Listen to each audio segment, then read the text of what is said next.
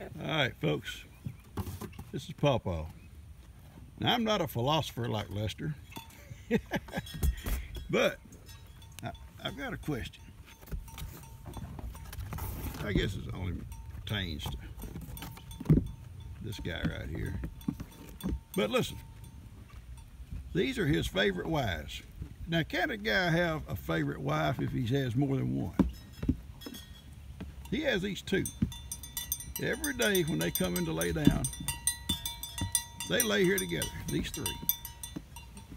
That mean they're special? I don't I don't know. Those over there are his wives too. but he gathers up with these two.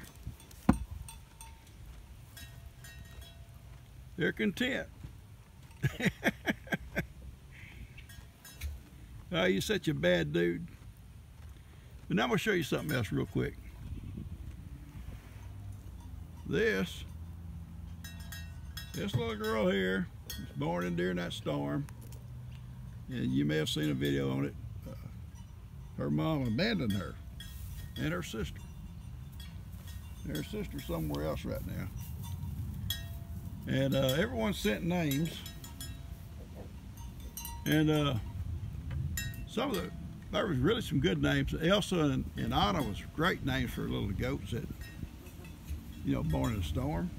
Oh, here she is. But we already had cats named that. So we had some cats named Elsa and Anna. So I took the names and showed them to Lex. I said, you just go through the names and pick out two names. We picked this one right here. The little brown one is called That's Sophia. And over here is Karen.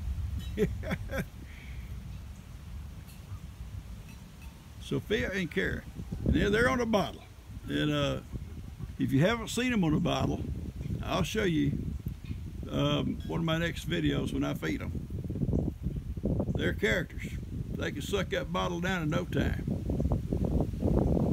But they're sisters, and when I, the storm came and I took them, you know, the mom wouldn't have them, I took them in, put them underneath the heat light, and uh, they've been on a bottle ever since. Karen and Sophia. Now I'm gonna tell you something real quick, and I'll finish this video. This little girl here has found a way to get out when she gets ready to get out and go out with the cows. All the way to the back pasture just walk along with the cows, eating grass. And she's going to get in trouble doing that. Her sister doesn't go with her. Nor does any of the other babies leave their moms and go. But these two don't, you know, I'm their mom. But for some reason, they chose they can just go when they want to, especially this one. Oh, it's, it's going to be trouble. okay, folks, I just want to show you that. This is Pawpaw. I'll catch you later.